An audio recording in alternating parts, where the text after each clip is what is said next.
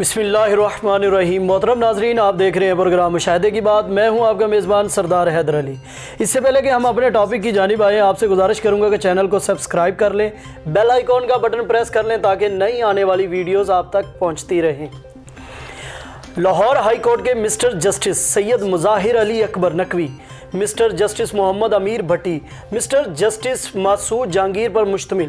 Full bench نے سنگین غداری کیس کی سماعت کرنے والی خصوصی عدالت کی تشکیل۔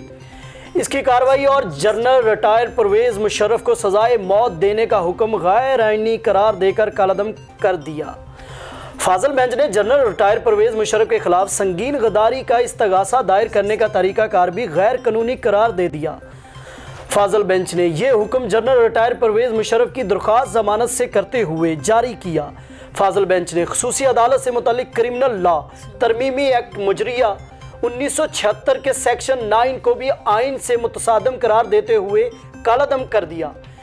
اس سیکشن کے تحت خصوصی عدالت کو ملزم کی غیر موجودگی میں ٹرائل کا اختیار دیا گیا تھا۔ فاضل بینچ نے قرار دیا ہے کہ ملزم کی غیر موجودگی میں ٹرائل شفاف عدالتی کاروائی کی آئینی ضمانت کے منافی ہے۔ فاضل بینچ نے قرار دیا کہ آئین کے آرٹیکل سکس میں ترمیم کا اطلاق ماضی سے نہیں کیا جا سکتا۔ اٹھارویں آئینی ترمیم کے تحت آئین معطل کرنے کے اقدام کو بھی آرٹیکل سکس کا حصہ بنایا گیا۔ یہ ترمیم دو ہزار دس میں آئی، جبکہ جنرل ریٹائرڈ پرویز مشرف کے خلاف۔ مقدمہ ان کے دو ہزار سات کے اقدام کی بنا پر قائم کیا گیا۔ عدالت نے درخواست گزار کے اس موقف سے اتفاق کیا کہ خصوصی عدالت کی تشکیل اور جنرل ریٹائرڈ پرویز مشرف کے خلاف استغاثہ کی کابینہ سے منظوری نہیں لی گئی۔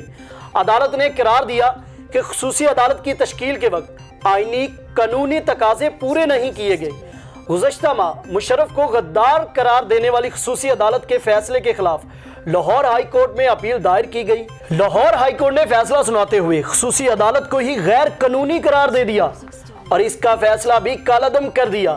لاہور ہائی کورٹ کے گزشتہ جمعے کو دیے گئے فیصلے کے مطابق ملزم کا ٹرائل اس کی غیر موجودگی میں کیا گیا جو کہ انصاف کے تقاضوں کو پورا نہیں کرتا۔ خصوصی عدالت قائم کرنے اور شکایت درج کرنے کا وفاقی حکومت کا کوئی ریکارڈ موجود ہے اور نہ ہی نوٹیفکیشن آئین کے تحت اس عدالت کو قائم کرنے کے لیے وفاقی کابینہ سے منظوری درکار تھی جو کہ اس وقت کی حکومت نے نہیں لی۔ امرجنسی کی شک آئین میں موجود ہے تو پھر امرجنسی لگانے پر غداری کی سزا کیسی؟ ان نکات کی بنیاد پر لاہور ہائی کورٹ نے خصوصی عدالت ہی اٹھا کر دریا پرد کر دی اور اس بات کی پیشن گوئی میں نے تب ہی کر دی تھی جب پرویز مشرف کو سڑکوں پر گسیٹنے کی باتیں ہو رہی تھی۔ فیصلے پر تبصرہ کرنے سے قبل چند سال پیچھے جاتے ہیں۔ دو ہزار تیرہ میں نواز حکومت نے مشرف کے خلاف آرٹیکل چھ کے تحت کاروائی کا اعلان کیا۔ اس مقصد کے لیے ایف آئی اے سے تحقیقات کروائی گئی اور ان کی رپورٹ کی روشنی میں مشرف کو آئین توڑنے کا مجرم قرار دیا گیا۔ پھر اٹھارہ نومبر دو ہزار تیرہ کو وفاقی حکومت نے ایف آئی اے کی یہ رپورٹ اس وقت کے چیف جسٹس افتخار چودری کو رسال کی اور درخواست کی خصوصی عدالت قائم کر کے ٹرائل شروع کیا جائے۔ افتخار چودری نے چاروں ہائی کورٹس کے چیف جسٹس کو خط لکھ کر خصوصی عدالت کے لیے نام طلب کیے۔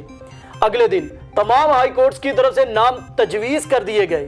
بیس نومبر دو ہزار تیرہ کو افتخار چودری نے پانچ نام حکومت کو دیے اور خط میں لکھا کہ ان میں سے تین نام منتخب کر کے خصوصی عدالت قائم کر دی جائے۔ اکیس نومبر کو وزارت داخلہ کی جانب سے اعلان کیا گیا کہ Sindh high court chief justice Faisal Arab کی سربراہی میں تین رکنی خصوصی عدالت قائم کر دی گئی ہے۔